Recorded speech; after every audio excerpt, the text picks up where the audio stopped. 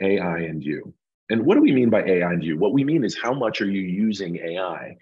Each week, we ask you in a poll the same set of questions. And I just launched that poll um, now, uh, which is how are you using uh, AI in your own businesses?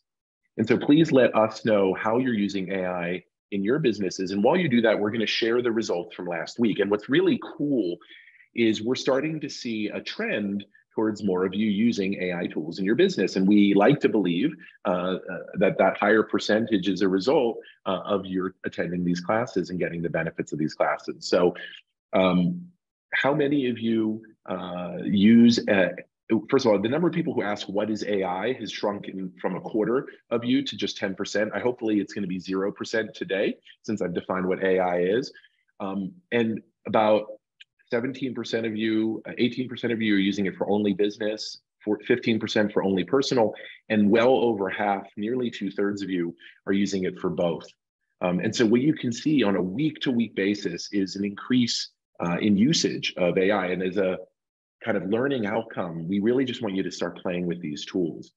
Now, the next question was, how many times have you used ChatGPT GPT in the past week? My answer would probably be five to 10. I've been traveling a lot, not as many.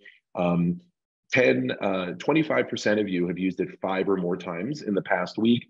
Uh, um, one or two uh, times, 38%, uh, and about 20% of you have done it to three to five. Now, 13% of you still are wondering what is ChatGPT? Again, ChatGPT is the easiest, most accessible, most popular tool for AI for text. And um, to find it, just Google ChatGPT uh, exactly as it's written, and it'll show you the interface. You log in and you use it, and it's just a chat bot. It's really easy to use.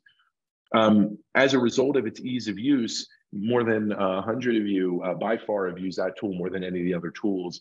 Um, one of the things about this question is you can now select multiple options. So if you've used multiple ones of these tools, you can select all the ones that are relevant. And thanks to the 57 of you percent of you who've answered so far. And then finally, have you saved money or made money? Somebody said, what about if we made money um, using uh, Chat GPT? Now, on a personal level, uh, I've saved tens of thousands of dollars, all of it with relation to translating one of my courses from English to Spanish.